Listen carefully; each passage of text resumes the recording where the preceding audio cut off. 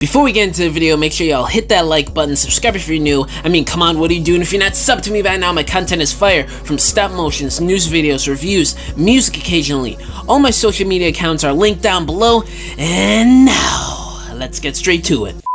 What's up, you guys? Thank you for clicking on this video. So, oh man, we have some Reactivate news to talk about today. More leaked characters and more leaked render designs here. So all this news comes in via RoboGamer1HD here on YouTube. So shout out to you, man. So first up here, I want to give you guys my opinion on this Reactivate Starscream design, which is different from any of the designs we've seen. There's some different color changes, some different details, such as no more asymmetrical black detailings all over him, because allegedly this is supposed to be his look before the invasion on Earth, which is why he looks a bit cleaner and I guess you could say more healthier here in this render as opposed to other renders we've seen of him.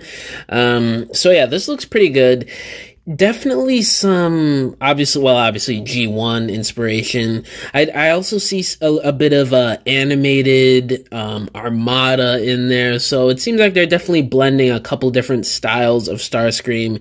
And i definitely see some more of that modernized evergreen cyberverse and earthspark designs of starscream within this reactivate version of the character. So this is this is definitely pretty cool. And looking at the jet mode which i think is like a f 20 or an F18 or something like that.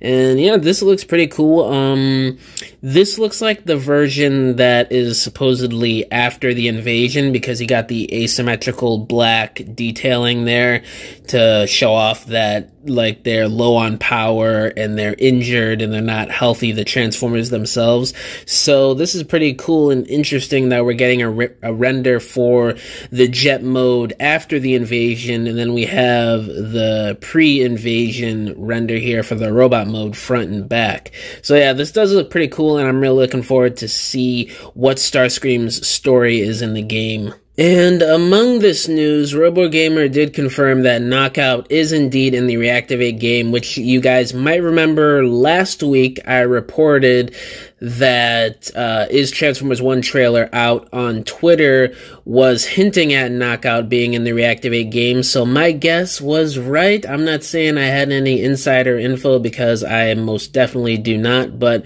my guess was definitely right in that video. I was not clickbaiting at all. So lucky me. And then the other one is Powerglide. So this is definitely new. We have not heard any leaks on Powerglide. Man, I am so excited excited that Powerglide is going to be in some major Transformers media again. It's been a long time. He he was in a bit of the Earth Wars or Prime Wars stuff back in the 2010s. Uh, he was in the IDW comics here and there, but he was more of like a C D list background character. Like 90% of the time he showed up. And the only real significant role he had in Transformers media was the G1 cartoon. He was in the original Marvel comics a little bit.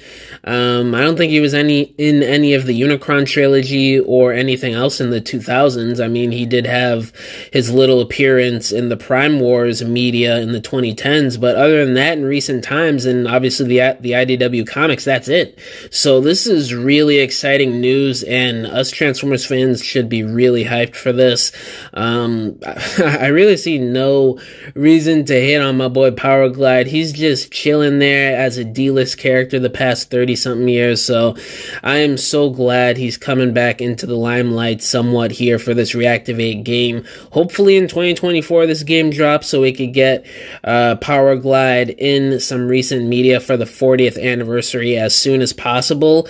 Uh, but I don't know. We have no idea when this game is dropping. Hopefully soon. Hopefully 2024 and if not the latest 2025.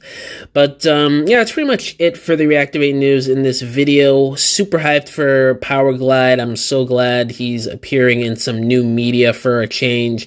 And the Starscream design does look pretty neat so far, and I hope his character is actually really nice and fleshed out for this game. Uh, let me know, let me know down in the comments below what do you guys think about this new updated design for Starscream, and how do you guys feel about Knockout and Powerglide appearing in the Reactivate game? Oh, and also, do you guys think there's going to be any sort of multiverse story going on, you know, with how popular multiverse stories have become here in the 2020s within Hollywood and other sources of media with Hasbro, uh, especially with Knockout appearing in this game. Maybe he's from the Transformers Prime universe. I don't know. But yeah, let me know down in the comments below if you guys think any multiverse storylines are going to appear in this Reactivate game. All my social medias are linked down below Instagram, TikTok, Twitter, Facebook, all that good stuff. My email is also down below if y'all want to message me about business inquiries or if you want to hit me up about whatever, or if you want to commission a diorama from me because I make dioramas for people for their stop motions, photography, or just regular display shelves in your home. You can either hit me up on any of my social medias or just email me and we can work out a deal. But yeah, guys, thank you for watching this video. I'll catch y'all in the next one. Bye.